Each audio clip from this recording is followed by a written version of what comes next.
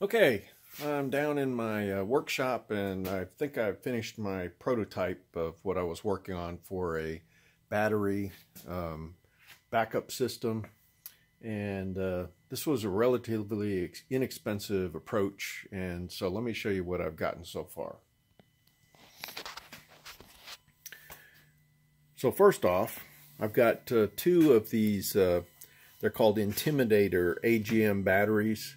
And these are, uh, let me see if I get the part number off of here. They're 8A, where's the, get through here.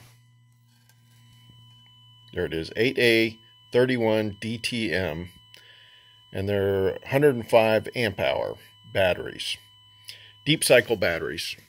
And I put two of them in parallel, so that's uh, 210 amp hours, which is, you know, pretty beefy battery uh, setup.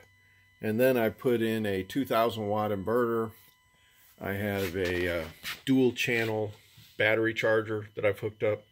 And then I also bought a, a, real simple display. And right now I've got the battery charger on. I'm going to show you what happens when I take that off here. But uh, in any event, this is a fairly simple setup. You only need uh, two pretty good sized jumpers here and then so I've got one in the front one in the back. And with this display it comes with a shunt. And then you'll need to uh, get some wiring and I'll show you what I used here. And then you'll also need uh, some of these uh, um, various connectors to be able to adapt to this uh, um, shunt. Now what I used I've actually keep this stuff uh, in my shop. Um, I've used this for my boat trailer wiring. This is a, a uh, five conductor and it, it's actually a low voltage um, sprinkler wire. Um, and I found that it, it just absolutely works great for a lot of different things. And so um, I just use that as a cable that runs off of the back of this thing.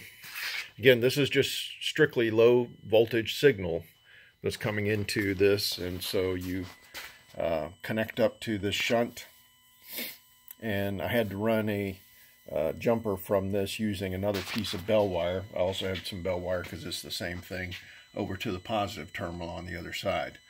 So I have, you know, two sets of uh, battery charging cables coming in, for, you know, one for each battery. Then I have two jumpers. I have the shunt, and then I have my five conductor wire. I have this uh, display and then I have my inverter. I, I like this inverter, this Ampeak inverter, because it has everything uh, breakered. And then it also has a triple display, so it'll go through, tell you your, your voltage um, for your input, your output, and then your power. There's also a USB connector. Um, let me go ahead and unplug. So we unplug the charger, you can see that the voltage comes back down. It was about uh, 12.78 because uh, these batteries were fully charged overnight. Now, so let me uh, let me go through some of the prices. I found these batteries at uh, kind of a scratch and dent place. Uh, these actually have a date code of 2016. I don't know what they were previously previously used for, but I can go over here and pick these things up, and they have a 30-day warranty, so I can bring them home, kind of run them through the paces, and you know if they don't make them like the first Trojan batteries I bought, they had four of them, and three of them didn't make it. I had to send them back. Now, these Intimidator batteries, uh, I bought four of them the other day, again for $40 a piece, and all four of these have charged up perfectly. Now, because they're 2016, you know, they've already got three years on them, but AGMs typically, depending on the application, I've had in my boat last as long as like eight years.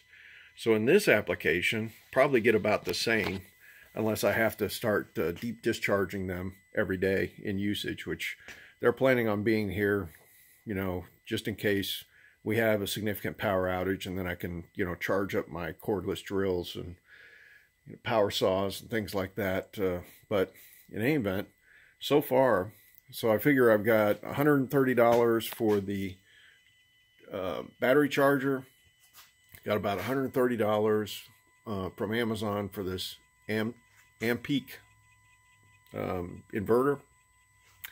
This thing was about uh, $15.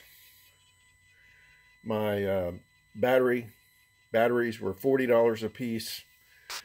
Um, and uh, you'd have to get some cables. Those cables probably about $10, $12 a piece. I just happen to have some, or I got them from my solar guy. He had some laying in a box that he gave me.